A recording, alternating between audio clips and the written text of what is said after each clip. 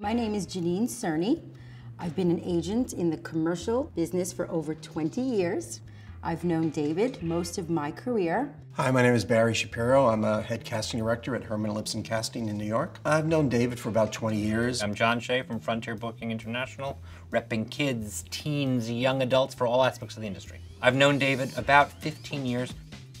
We represent on-camera commercials and commercial print models and actors, all ages, all shapes, all sizes, all ethnicities. People can send us photos and that's been happening for years in the business. We do let them know that they, they have to come here and to come here to meet an agent is a big expense just for an interview.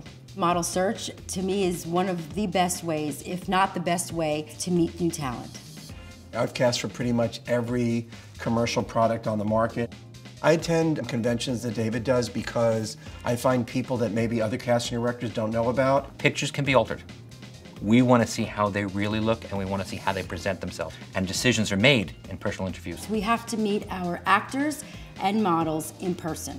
Absolutely. It's very important to meet people face to face because personality in any aspect of the business is crucial. So I need to know how they interview, I need to know how they present themselves. Conventions have been a great resource for me as a casting director. The model search, to be quite honest with you, the best way to meet new talent is by going to these conventions. Otherwise, it doesn't work.